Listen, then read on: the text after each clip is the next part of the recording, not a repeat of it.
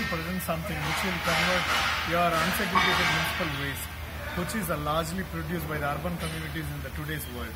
That itself is a big challenge for the government and for the agencies to manage it. Today, it's an interesting fact to know that just alone Hyderabad produces 5,000 tons of municipal unsegregated waste every day.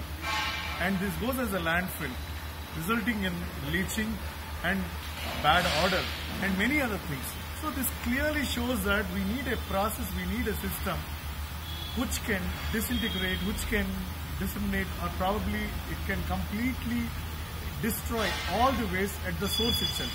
This is small uh, equipment which is just next to me, which is a PlasmicCore developed by us, which consumes no power, no fuel, but can destroy all your unsegregated municipal waste.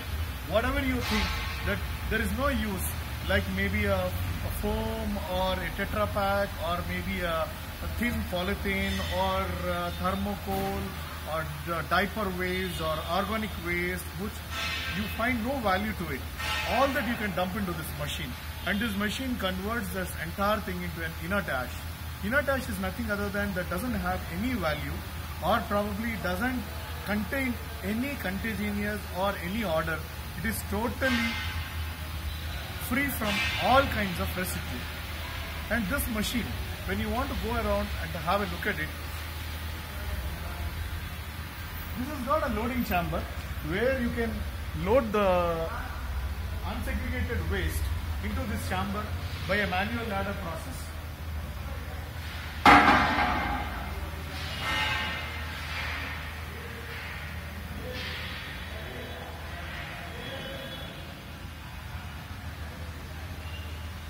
This is the loading chamber of the machine where the loading is being done and it has got a door to allow it to the reactor chamber. And the reactor chamber uses the plasma core technology which is a patented technology which doesn't use any fuel or power, converts that into solid waste to ceramic ash or maybe an inert ash and that can be collected at the bottom of it. When you look into the compacting, the compacting is one ton can be converted into as low as 3 to 4 kgs. 3 to 4 kgs is super compacting what we call it as. You have a question like the, the process of the process of uh, destruction is a plasmic technology. There is no fire in it and the reaction time varies from 4 hours to 8 hours per batch. And this machine which you are seeing it consumes around 500 kgs of waste that gets converted to close to 1 or 1.5 kgs of ash. And this uses a motor and a air scrubber tank. This fulfills all your uh, pollution norms requirements. All the hydrocarbons which are being generated in the machine are scrubbed and converted into uh, water-based stuff. And this process is continuous and this water is reused. To name it, maybe a liter or two liters of water gets evaporated from this tank, but the same water can be reused for one month or one and a half month and this can be treated. So finally the result of it is hardly any fume, any odor, anything goes into the air. So it's a clean environment machine which destroys your unsegregated municipal waste and this is a solution. Okay, you, you mentioned that uh, there is no power required. I see a motor. How the motor is running? Exactly, sir. The reactor doesn't use the power. I mean to say, most of the machines which are being in the market space uses 10 kilowatt, 20 kilowatt power and we don't use any power inside the reactor. And this motor is only to scrub your air. You can always leave the fume outside. But we are environmentally conscious company.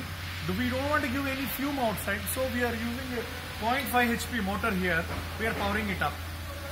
I could answer you the other way around.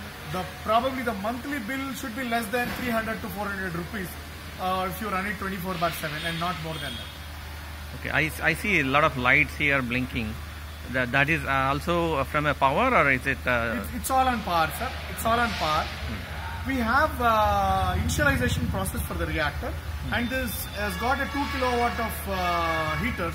When you put anything that is more than 65% of wet waste into the system, the system cannot uh, hold the temperatures anymore. To raise the compen to raise and compensate the entire this thing, the heaters are used for a span of one hour or one and a half hour to again to regain the plasmic state. okay.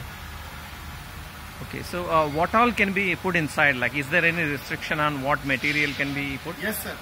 Uh, we can't accept four materials inside. That is earth, that's any stone, and uh, ceramic, glass, and metal. If by chance anything goes inside, that again comes back in the uh, collection door.